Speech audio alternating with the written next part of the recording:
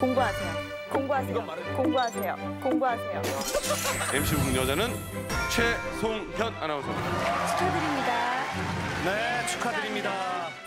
옛날에 네가 한 얘기가 있는데 야 그건 내 전문이야. 혜원 씨랑 쌍으로 위층으로. 나, 나하고 도우하고 엮고 싶어 한다.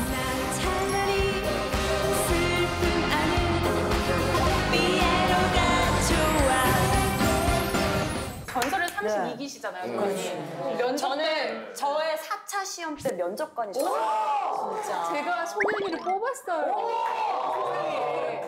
저기 뽑아주신 4명이 전부 집에 나갔습니다. 네.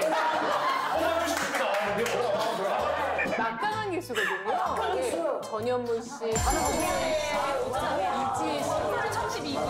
전설의 32기. 바로 나가셨어요. 항상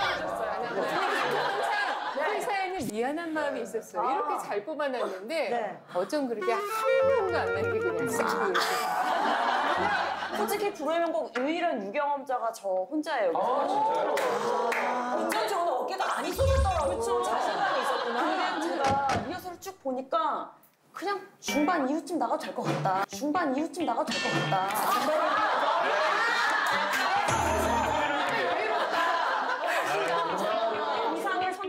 가장 많이 고려한 게 어깨뽕이었거든요. 어깨뽕? 아니 어깨 하나 제가 더 오늘 뒤지자고. 아, 오늘 의상, 의상으로 얘기하면 토크 대기실에서 가장 중요한 우리 또 크로마키 선생님 그리고 우리 멸치, 멸치카라 언니 그리고 누른자 언니 누른자 언니 아 진짜 오늘 의상부터가 장난이 아니에요 그러면 1승을 하기 위한 최적의 젊은은 누가 될것 예. 같나요? 2번 2번으로 누가 누가 되면 나는 1승 차지할 수 있어? 어, 정확하게. 이거 너무 아니잖아.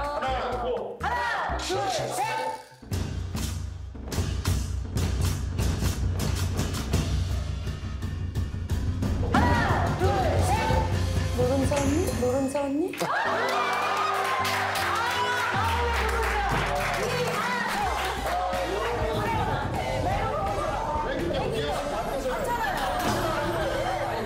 그냥 차라리 저도 빨리 끝내고 여기서 그냥 토크에 집중하자. 그러면 이번엔 어떤 선곡이신가요? 네 이번에 무리했습니다. 어? 엄정화 선배님의 포이즌을.